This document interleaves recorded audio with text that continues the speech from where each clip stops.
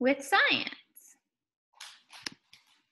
All right, so we're gonna today we're gonna talk about the interdependence of the circulatory and the respiratory system. We talked about that before spring break started, um, but it was very apparent to me yesterday in looking at your Kahoot that you did, uh, as well as when you guys were answering questions yesterday in our lesson that that might be something that we need to review on. So we're going to review on that today because that is a very important uh, process and interdependence that our organ systems have in our body. So we're going to review the circulatory and respiratory system today, and then you all will have two passages um, on your Google form. Each passage has four questions, but the passages are pretty short, and they pretty much are just going to review what we're going to learn today. Um, so it should be a quick read. It should be a very quick assignment for you to do, but I do want you to make sure that you answer incomplete sentences. Um, I have not been seeing you all answering incomplete sentences, and that is definitely important, especially for fifth graders, almost sixth graders. Um, so I'm going to go ahead and share my screen. We're going to watch a video together, and then we will discuss it. There we are. Hopefully internet works well today and we don't have any crazy issues. Um, let me minimize this here. All right, and remember your microphones are muted because it will cut out the volume of the video. All members of the Kingdom Animalia need oxygen to make energy. Oxygen is compulsory. Without oxygen, we die. But as you know, the byproduct of the process that keeps us all alive, cellular respiration, is carbon dioxide or CO2, and it doesn't do our bodies a bit of good. So not only do we need to take in the oxygen, we also got to get rid of the CO2. And that's why we have the respiratory and circulatory systems to bring in oxygen from the air with our lungs, circulate it to all of our cells with our heart and arteries, and collect the CO2 that we don't need with our veins and dispose of it with the lungs when we exhale.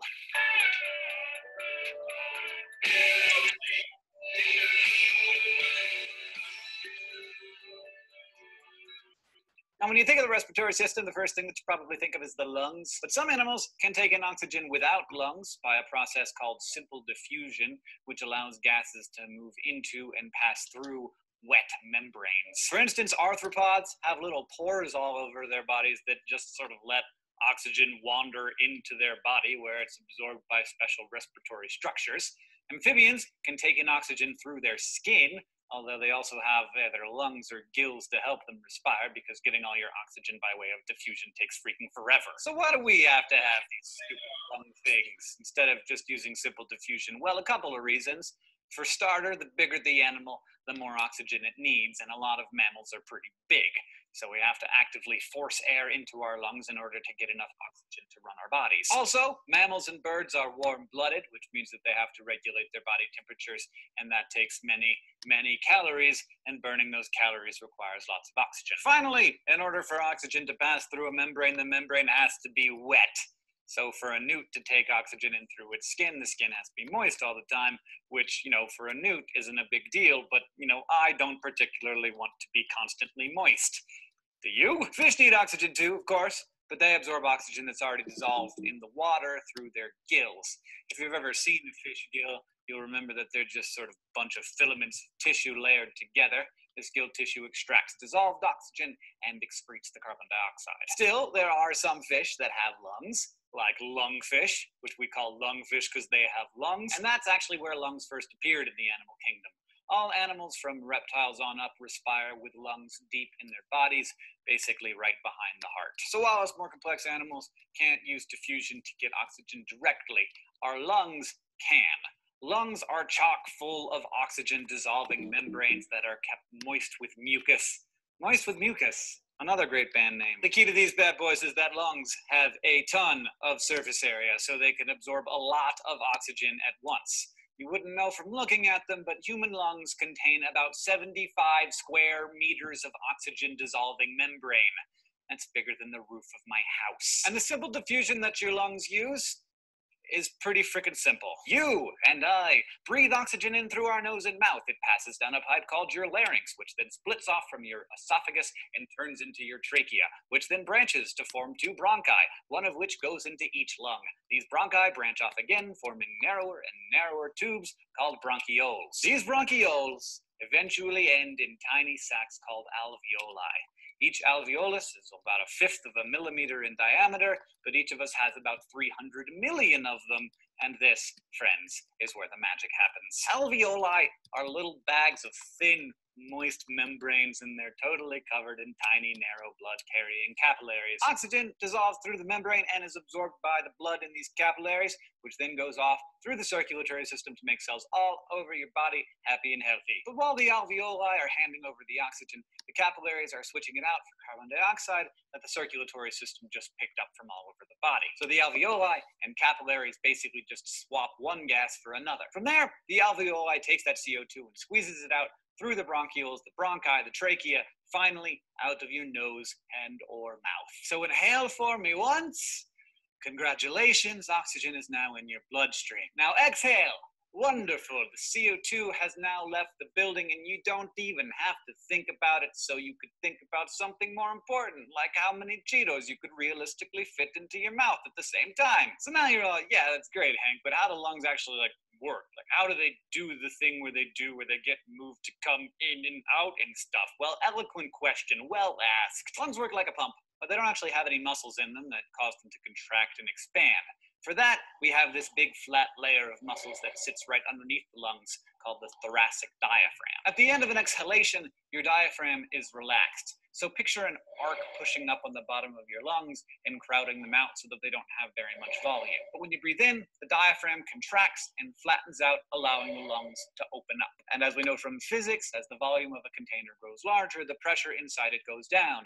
And the fluids, including air, always flow down their pressure gradient from high pressure to low pressure. So as the pressure in our lungs goes down, air flows into them. When diaphragm relaxes, the pressure inside the lungs becomes higher than the air outside, and the deoxygenated air rushes out. And that is breathing. Now, it just so happens that the circulatory system works on a pumping mechanism just like the respiratory system, except instead of moving air into and out of the lungs, it moves blood into and out of the lungs. The circulatory system moves oxygenated blood out of the lungs to the places in your body that needs it, and then brings the deoxygenated blood back to your lungs. And maybe you're thinking, well, what about the heart? Isn't the heart the whole point of the circulatory system? Well, settle down going to explain. We're used to talking about the heart as the head honcho of the circulatory system, and yeah, you would be in serious trouble if you didn't have a heart.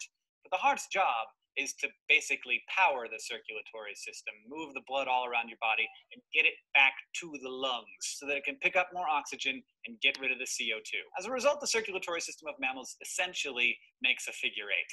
Oxygenated blood is pumped from the heart to the rest of the body, and then when it makes its way back to the heart again, it's then pumped on a shorter circuit to the lungs to pick up more oxygen and unload CO2 before it goes back to the heart and starts the whole cycle over again. So even though the heart does all the heavy lifting in the circulatory system, the lungs are the home base for the red blood cells, the postal workers that carry the oxygen and the CO2. Now the way that your circulatory system moves the blood around is pretty nifty. Remember when I was talking about air moving from high pressure to low pressure? Well, so does blood. A four chambered heart, which is just one big honking beast of muscle, was set up so that one chamber, the left ventricle, has very high pressure. In fact, the reason it seems like the heart is situated a little bit to the left of center is because the left ventricle is so freaking enormous and muscly. It has to be that way in order to keep the pressure high enough that the oxygenated blood will get out of there. From the left ventricle, the blood moves through the aorta giant tube and then through the arteries blood vessels that carry the blood away from the heart to the rest of the body. Arteries are muscular and thick walled to maintain high pressure as the blood travels along. As arteries branch off to go to different places, they form smaller arterioles, and finally, the very little capillary beds, which through their huge surface area facilitate the delivery of oxygen to all of the cells in the body that need it. Now, the capillary beds are also where the blood picks up CO2. So from there, the blood keeps moving down the pressure gradient through a series of veins. These do the opposite of what the arteries did. Instead of splitting off from each other to become smaller and smaller, little ones flow together to make bigger and bigger veins to carry the deoxygenated blood back to the heart. The big difference between most veins and most arteries is that instead of being thick-walled and squeezy, veins have thinner walls and have valves that keep the blood from flowing backwards, which would be bad. This is necessary because the pressure in the circulatory system keeps dropping lower and lower until the blood flows into two major veins. The first is the inferior vena cava, which runs pretty much down the center of the body and handles blood coming from the lower part of your body. And the second is the superior vena cava, which sits on top of the heart and collects the blood from the upper body. Together, they run into the right atrium of the heart, which is the point of the lowest pressure in the circulatory system. So all this deoxygenated blood is now back in the heart, and it needs to sop up some more oxygen. So it flows into the right ventricle and then into the pulmonary artery.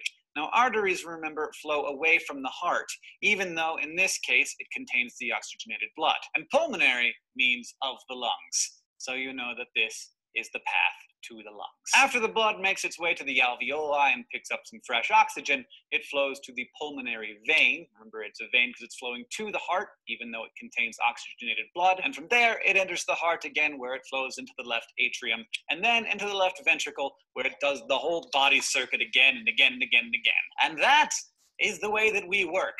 Our hearts are really efficient and awesome, and they have to be because we're endotherms, or warm blooded, meaning that we maintain a steady internal temperature. Having an endothermic metabolism is really great because you're less vulnerable to fluctuations in external temperature than ectotherms or cold blooded animals. Also, the enzymes that do all the work in our bodies operate over a very narrow range of temperatures. In humans, that ranges between 36 and 37 degrees Celsius. The trade off is that endotherms need to eat constantly to maintain our high metabolisms and also create heat. And for that, we need a lot of oxygen, hence the amazing, efficient four chambered heart and our gigantic frackin' lungs. Ectotherms, on the other hand, have slow metabolisms and don't need as much in the way of food. A snake is totally pumped if it gets a meal once a month.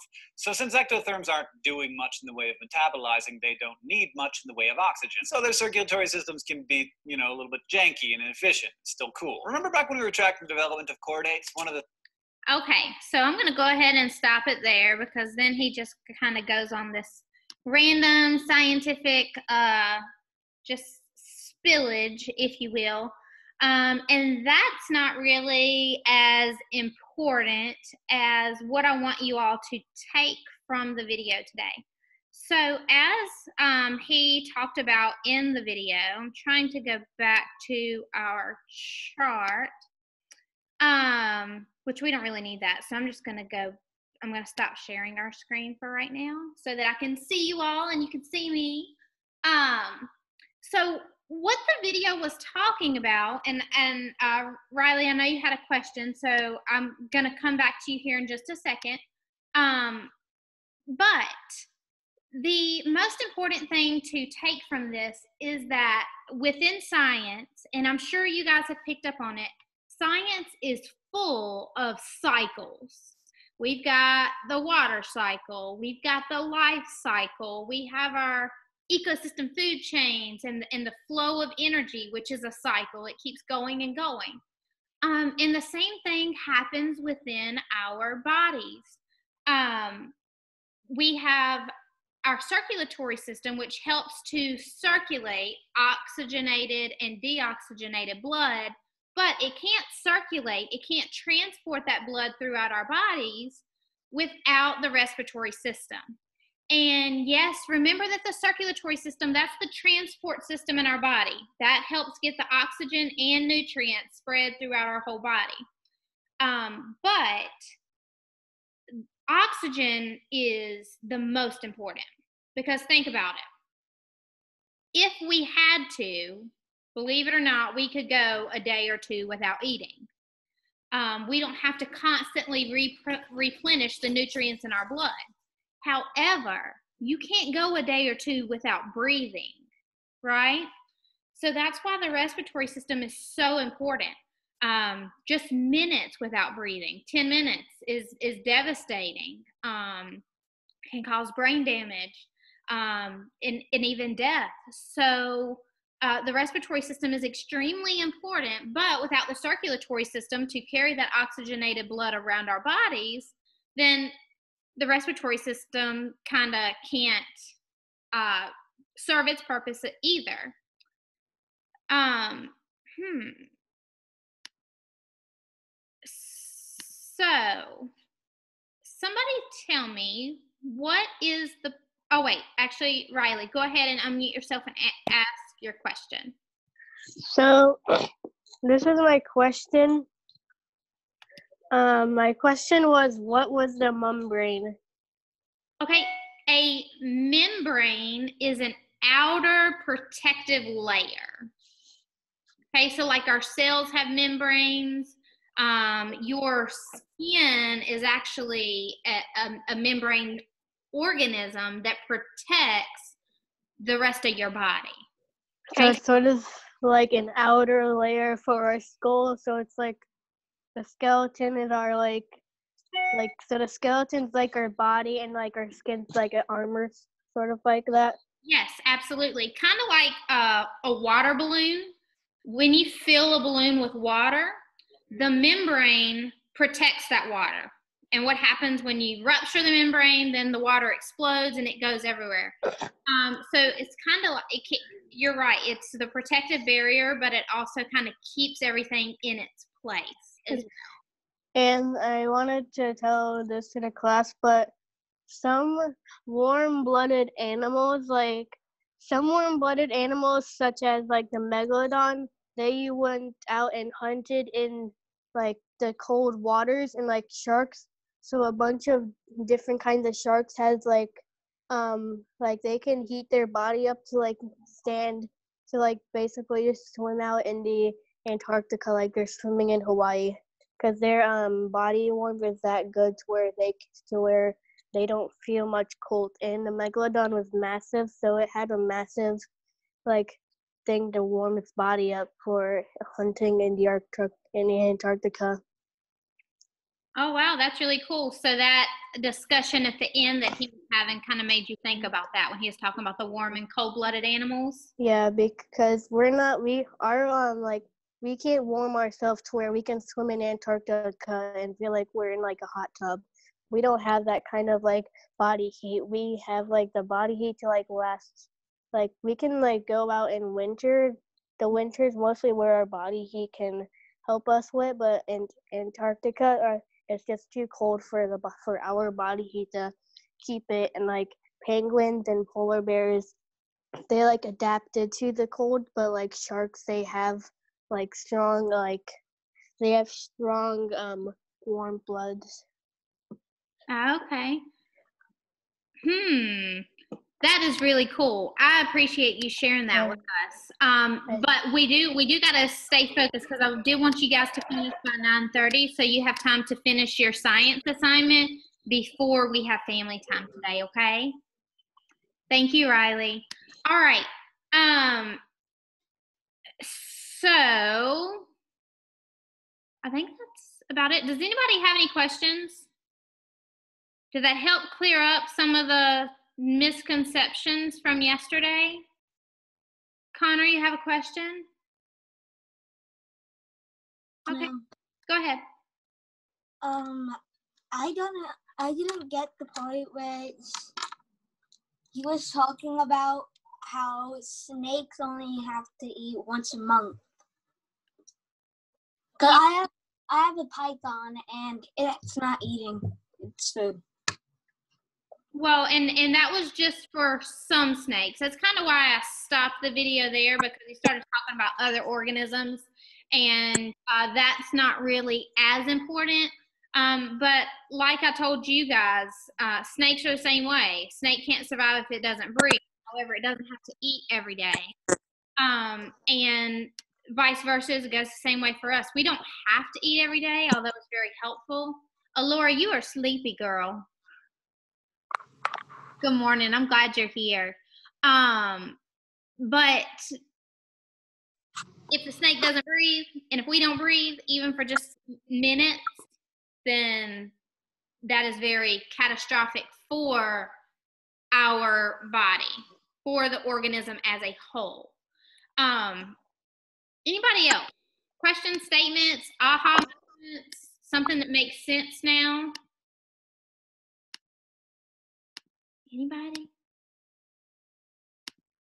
Okay, Connor's shaking his head. It makes a little bit more sense now.